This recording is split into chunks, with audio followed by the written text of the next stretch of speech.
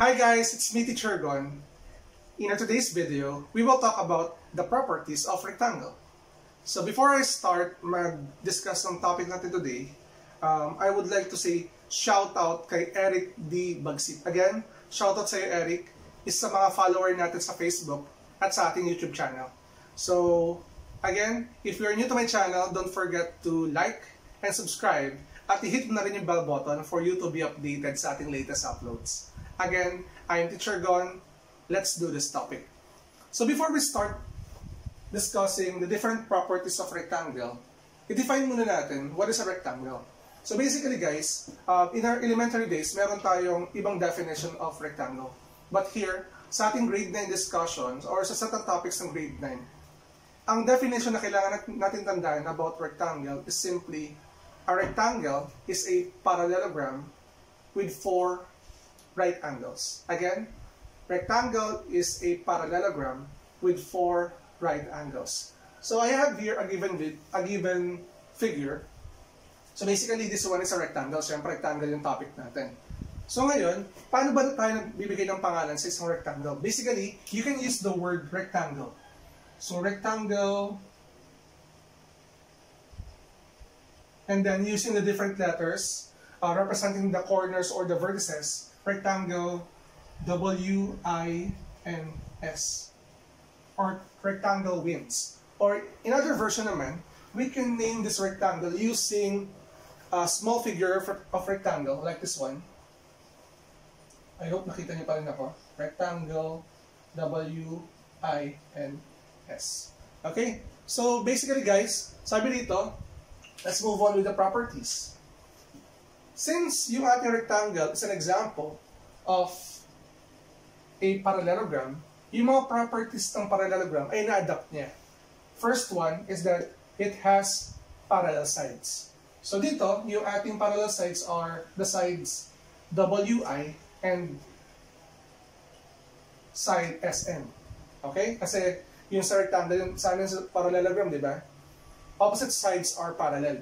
At the same time, another pair of parallel sides are side WS and side IN.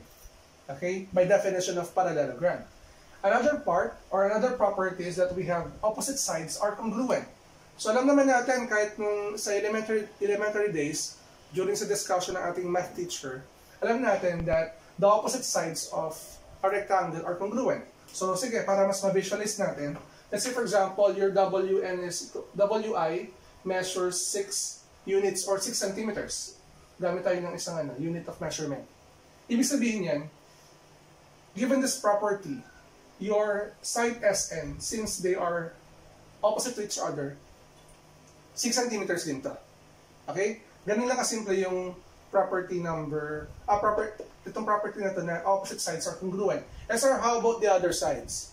Let's say your IN measures 4 centimeters. How about the other, sir? This one, since they are opposite to each other, this side, WS, also measures 4 centimeters. Ganun lang kasimple yung property na yan. Okay? So, let's move on with the next property. Ayos lang natin to. For the next property, um, opposite angles are congruent. So, later on, I will reveal kung ano yung pinakamagandang ano dito. Opposite angles are congruent. Ah, syempre, syempre. Sabihin ko na ngayon. Sasabihin ko na. Opposite angles are congruent. By definition, sabi ko kanina, um, rectangle is a parallelogram with four right angles. Since lahat ito ay right angles, lagyan natin ng box para malaman, matandaan natin na this angles are all right angles. Since right angles sila, lahat ng measurement na yan is 90 degrees, equal to 90 degrees. Therefore, opposite angles are congruent. Or lahat ng angles niya, in other words, are congruent. This is 90, 90, 90, and 90. Kaya yung definition natin natin ito sa opposite angles are congruent. Next, punta naman natin yung consecutive angles are supplementary. Obviously, lahat na magkasunod na angles are supplementary kasi 90-90, 90 plus 90, 180, 90 plus 90, 180, and kahit paikot-ikutin mo yan, lahat yan ay 90 degrees. Lahat yan ay 180 degrees kapag inad natin. And next natin, um, diagonals bisect each other. So let's say for example, I will draw a diagonal WN and diagonal SI.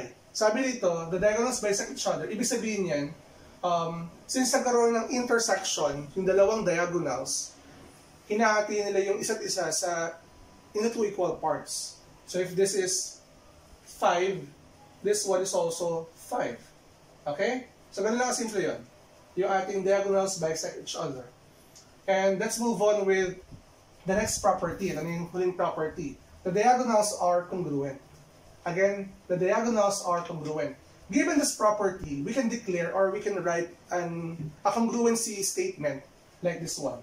We can say that diagonal WI